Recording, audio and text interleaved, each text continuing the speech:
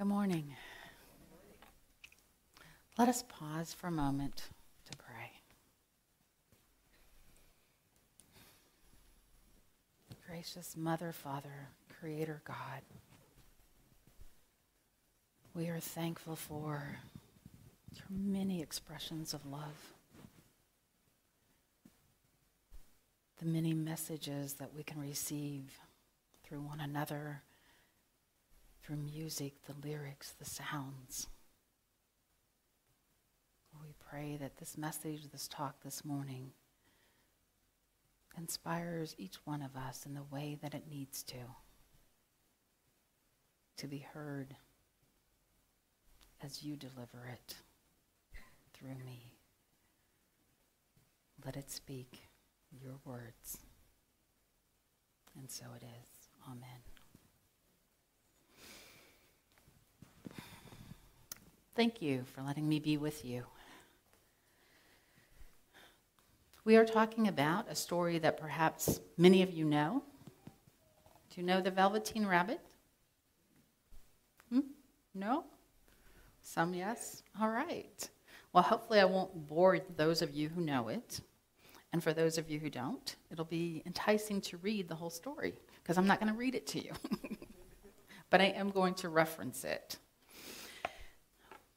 This, I think, is a beautiful story about the law or the power of intention, the law of manifestation, that what we think, we hold in our thoughts, and through that we have our beliefs, and we make our experiences become real.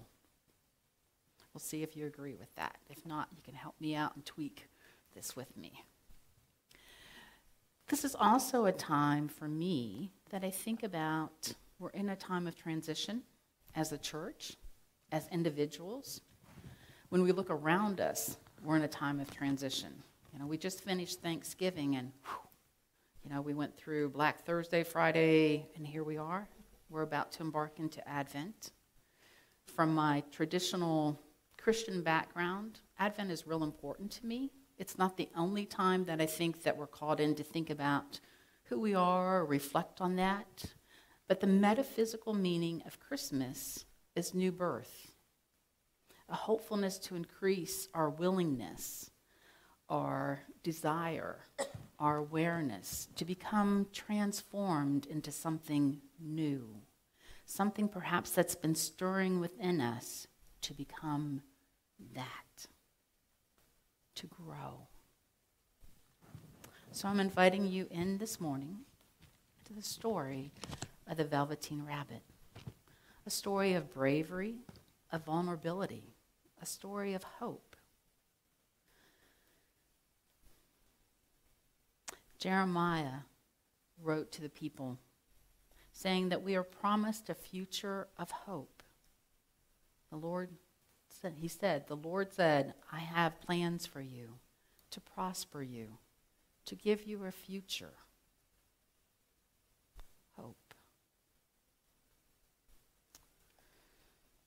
Let's go to the story.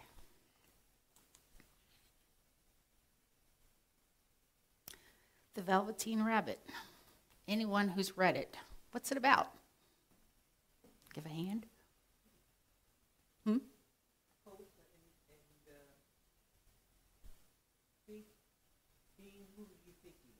Hope and being who you think you are. What else is it about? For those of you who don't know, it's about a little boy who at Christmas time receives all these wonderful toys and then receives what? A stuffed rabbit that can't do anything. So he, you know, plays with it a little bit and then it's like, discard it. Look at all these other wonderful toys to play with the rabbit begins to feel really bad. You know, not good enough.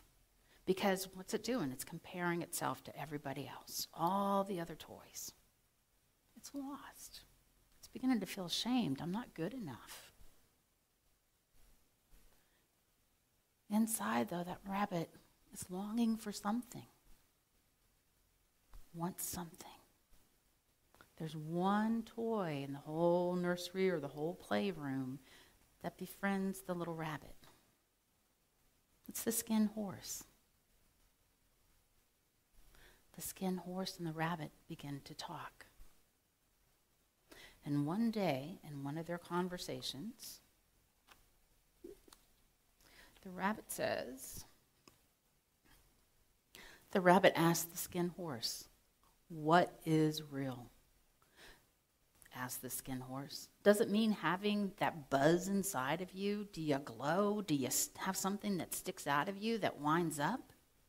Oh no, said the skin horse.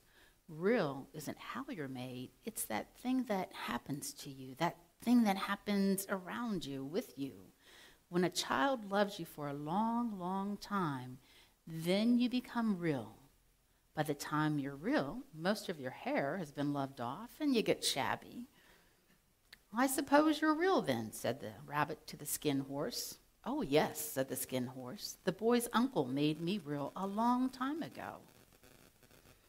And once you're real, you cannot become unreal again. It lasts for always. You and I are created in God's image. We have that spark of realness within us that no matter what happens, it can't go away. It's there always. To highlight this and the story, I went to, did some research, of course, some studying, and Toni Ruffino D'Antoni has written a book called The Velveteen Rabbit The Velveteen Principles A Guide to Becoming Real. Toni describes the difference between living in the land of objects with all those gizmos and gadgets and being real. She says, once we accept the pervasive message of the object culture that we should be perfect, we start to feel shamefully inadequate. We feel less than. It's a struggle to find out who we are my friends Marvel Harrison and Terry Kellogg would say we get bumped off our path sometimes because we get sidetracked, you know, we get caught up in all the things we're supposed to be because we're bombarded with it from images from TV and, and advertisements, wherever we are. Something can be new and improved of who we're supposed to be. And yet, not one of us can attain, attain that object status. No matter what we buy, no matter what we wear, no matter how we smell, we're still who we are. But when we're off that path, we tumble around. We may condemn ourselves. We may feel shame. We may isolate. We may try to ease the pain through acquiring more objects, or through power, or drugs, or sex, or food, or purchases, or whatever it is that only leads us further away from who we really are just think about your own process. And this may be speaking more for me, so I hope it's hope this resonates in some way with you. But abandoning your real self. You let go of a dream here, you let go of a dream there. Ah, you let go of a thought, you let this pass. But then it's like there's something missing. There's something inside of you that is feeling those losses. And hopefully we brush against people that, you know, kind of hold that up to us, that something's missing. And we feel that little inkling, that urge. And it taps into that core of who we really are. And we want to be real. We want to be real.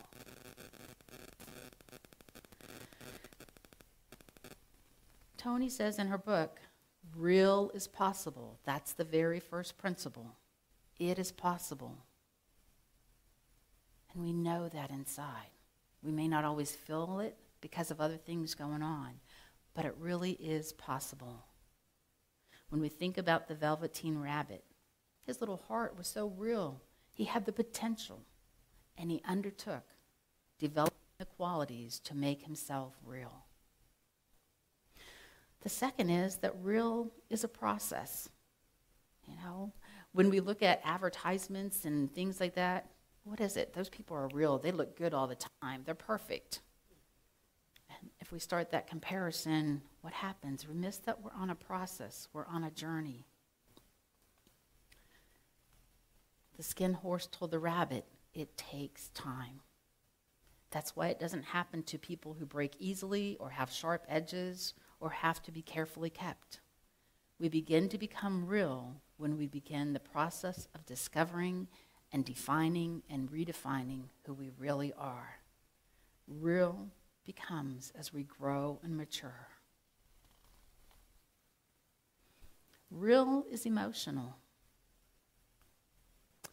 When we're real, we honor our feelings and we express them.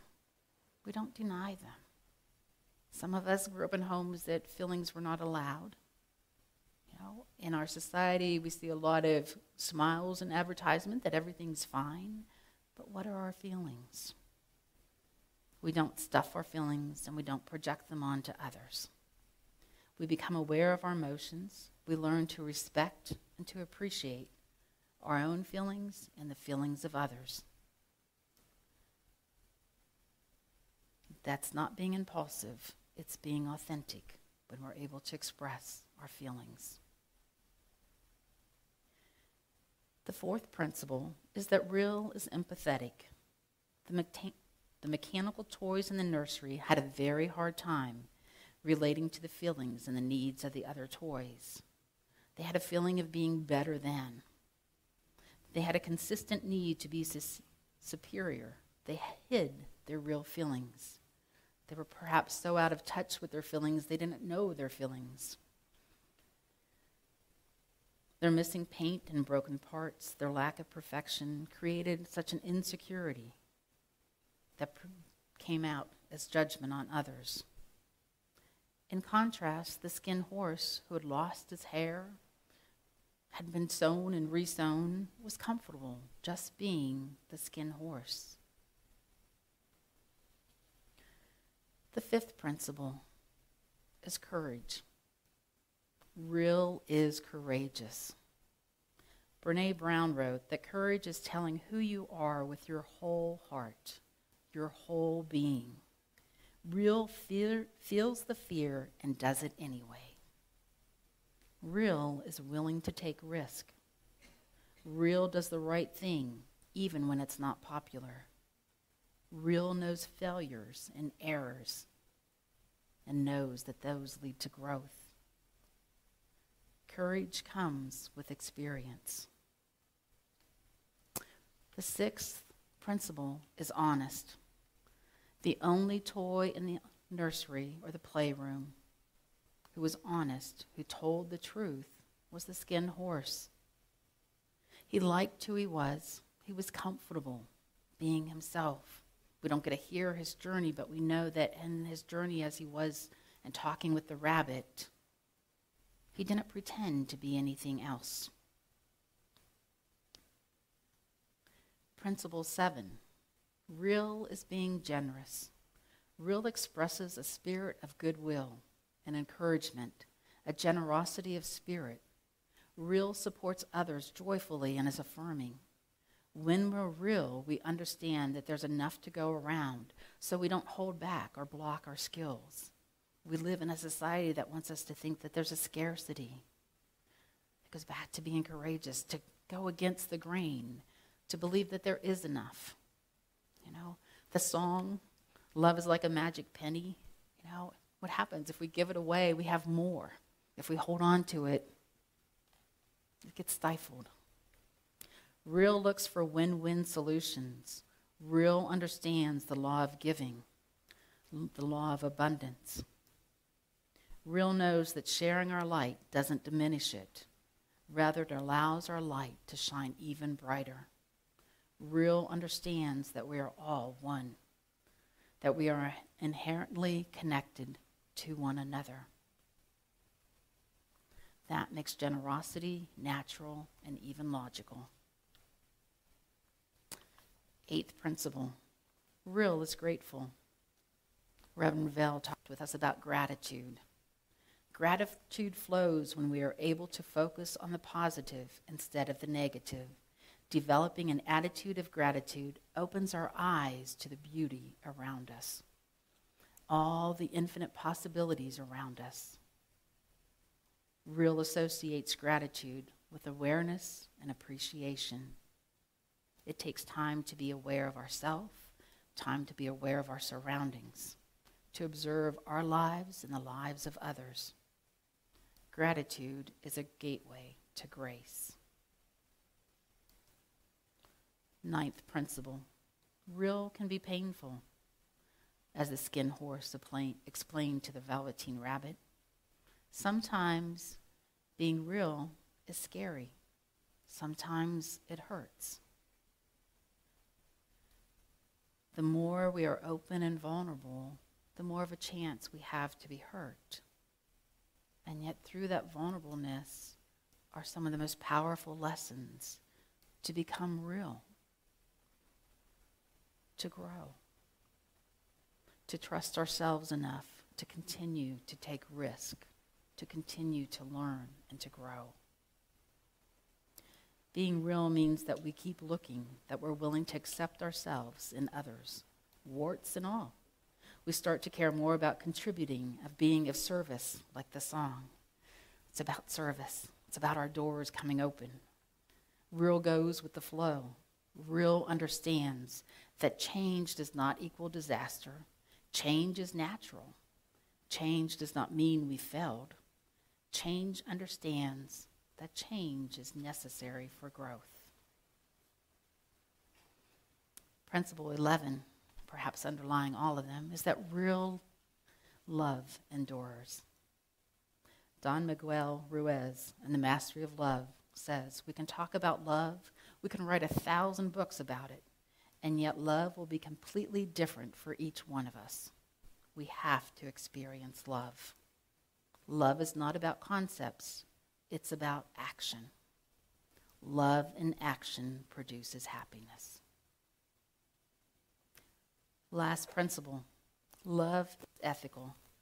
The process of becoming real eventually makes us calmly content with who we are as individuals and with others. It means we no longer feel overwhelmed or that self condemnation or the shame or the disgust. We are comfortable being human beings.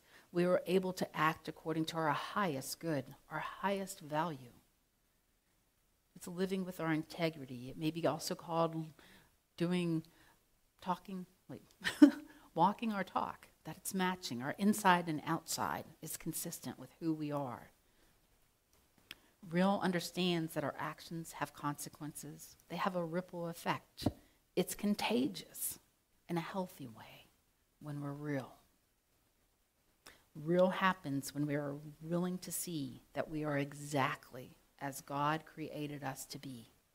We stop apologizing for who we are and we re- embrace ourselves individually and as one another. When we become real, our talk begins to match our walk. We trust ourselves to know about letting others in, about letting our feelings out. We also begin to recognize and accept relationships with other people, regardless of race, color, gender, religious. We accept one another and see the beauty as God has created each one of us. When we're when we are real, it's going to be a tongue twister. When we are real, we are vulnerable.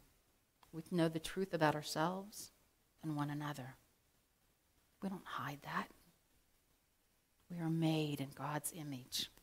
We are genuine. We no longer want to pretend. Toni speaks, and after the rabbit became real, real, the velveteen rabbit looked upon the world with quiet wisdom. We acquire when we have grown enough and learned enough to understand what really fulfills and sustains us as unique individuals. To put it another way, we know what gives us true value and true meaning. This is the ultimate goal we reach as mature, as real people, as people in a process of becoming real. Real life demands your participation. It doesn't happen to you, you design it, you co create it with our Creator. It means that you are willing to grow, learning to live through your experiences, learning to know that you did your best and you will continue to do your best. You don't beat yourself up when a mistake is made, you learn from it, you share it. Going back to the meditation about being real. Not to put anybody on the spot. What kind of container did you select for yourself when you had the chance to take some water? Did you take a container of water? Yes? You had a cup? Hold it up. Yeah. Okay. Others? Coffee. coffee. You had a coffee a coffee container? Okay. Okay. Was it a big cup? Was it a little cup? A plastic baggie. Okay. Yeah. Did anybody not take water? And you don't have to answer. Okay. The image of that cup, and I like this meditation because it talks about what are we willing to give ourselves? You know, do we deny our feelings like, wow, that water tasted really good, but oh no, I can't take any of that. I'm not good enough, or I don't need it, or what would I do with it? You know, we back off. What if we take that water? And what kind of container do we take? You know, is it held precious in a fancy little porcelain t- teacup? Is it in a plastic bag? Is it in a coffee cup? What is it? Are we willing to take some of that water? You know, do we share it with others? What is it? Real is who we are, getting in touch with our coreness. Going back to the story, the Velveteen Rabbit kind of went through two, perhaps three experiences in that process of becoming real. First was in the nursery, wanted to become real, wanted to be like the others, and couldn't because it wasn't made that way. And when the little boy played with the rabbit, he takes him out amongst the other rabbits. And the other rabbits that are real outside are just like, Ooh, you're not one of us. But that didn't stop the little rabbit. It still stayed, t- that's part of that trust, knowing who he really was. So when he finally, unfortunately, is released from the little boy through a sad situation of the boy's health, a fairy comes to visit him and grants him to become real. He's again with the other rabbits. And he starts to wiggle and all that, and he becomes real he stayed true to knowing that his core being, his connection to his higher power, however we want to embrace it and express it, was there. It needed to come forth. Is our time now, individually, corporately, to live through the transition, to live through Advent, meditating on our hopes, our manifestations for ourselves, our family our church, our community. Let us be real. Let us say, I am real. One, two, three. I am real. Thank you. So it is.